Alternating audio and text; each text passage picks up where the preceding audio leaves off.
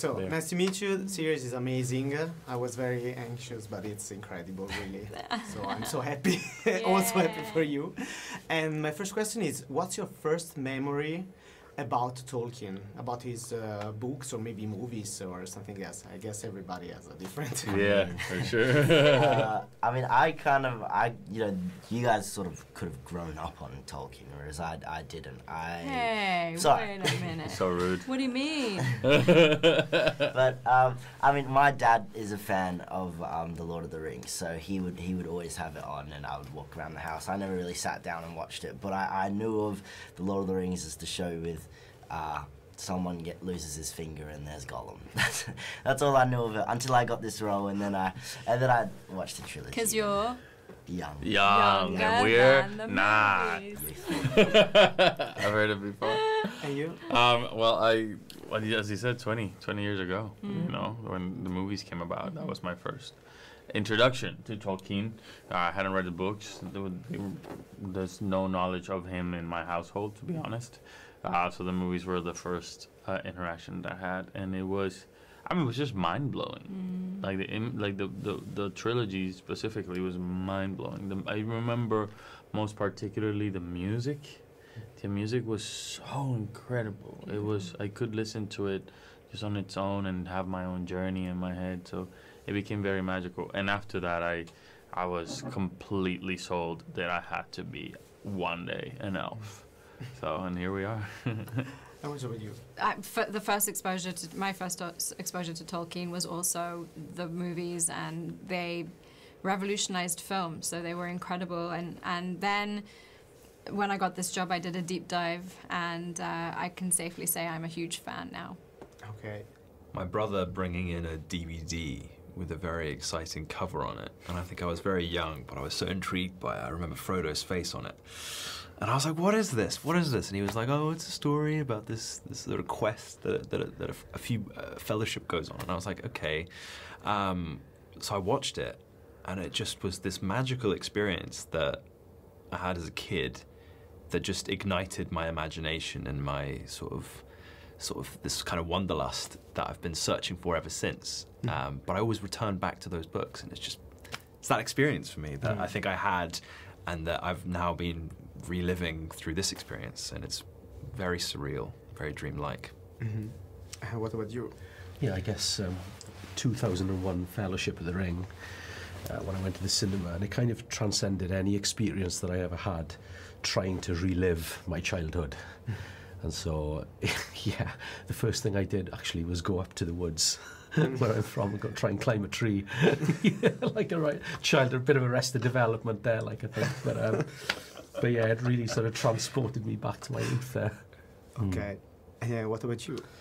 I remember the physical books. My mum was a huge fan, and I can't quite get the sequence right in my head. I grew up in Wellington, so when I was in primary school, they started making the trilogy, the Peter Jackson trilogy, and I'm not sure if she already had the books or if they were brought into the house because this is happening where we live. Um, but she'd known them all her life. And I remember looking at them and being like, well, those are long. I mean, that's daunting. But then there was a guy at my primary school who said he read them every summer, and I was like, well, if he can do it, I can do it.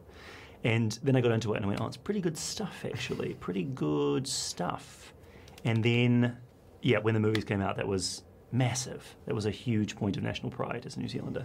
My first memory of Tolkien, just like you, I was a fan of the books when I was a kid.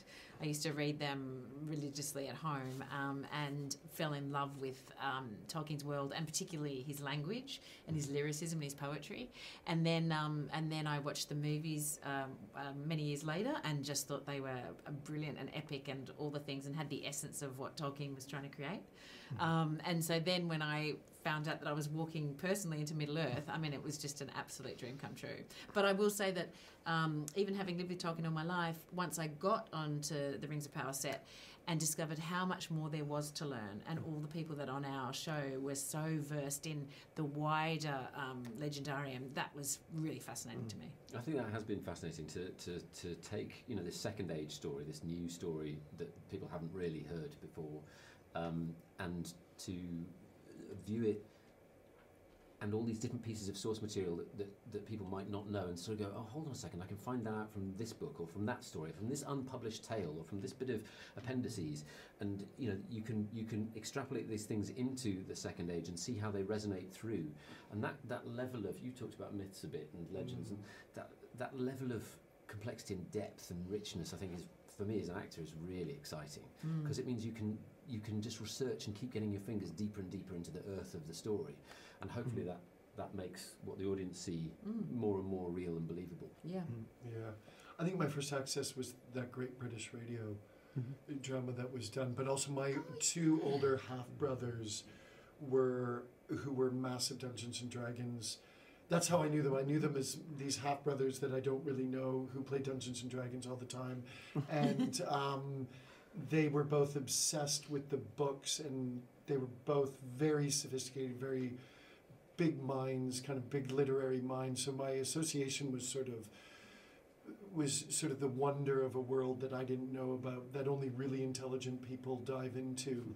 And then I got to hear the radio play and became obsessed. And then for me, the movies was a turning point of Mhm. just complete a, sort of ad- adoration for the whole world. The earliest memory I have in his universe was actually playing the PlayStation games, the video games, yeah, with my brother, um, and trying to open the Mines of Moria and being stuck on that level for hours, days, even. Um, I, strangely enough, I remember that before I remember the, when I watched the films um, or read the books. Um, I was very lucky that my dad read The Hobbit to me when I was nine. And um, I loved it and ended up finishing it myself and felt kind of very grown up because this seemed like a. And I, I think it was I the maps also I just loved Yeah. as a child. And how important wa- was for you as actors um, to know something about Tolkien? I, I guess in a different way. Uh, f- you know, for the series, for your experience on the set, it, it's something important because famously Elijah Wood never never Yeah. read the books, so every actor has a different approach. Yeah, I think I would be. I could never um, advise any other actors on their on how they approach their work because everyone is so different um, in their approach. I know for me, it meant a lot for me to read and immerse myself in the world, um, and that's not just restricted to reading. Um, as much as you can. There's so many other adaptations and m- uh, music to listen to. Um, Yeah. and also being in New Zealand, where such a large part of this world has been adapted visually. Um, so I drew a lot of inspiration from the physical environment as well. But I found it really important. But that's just for me. Yeah. Um, I also went to kind went to the books and to. Um, I also um, went to kind of podcasts and TikTok as well because I, I, I like to hear people discussing things. Um, so that was really interesting. Um, and also, just there's been so much art inspired by Tolkien, and particularly of Galadriel. So um, it was really nice to kind of look at all of them. But no, I, I got the audiobooks of um, The Hobbit and The Lord of the Rings and The Silmarillion and just had them on all the time, just to kind of get the feeling, because so much of it is the feeling of Middle Earth. And so it wasn't necessarily character rigid research, it was just the whole feeling of it all. Mm.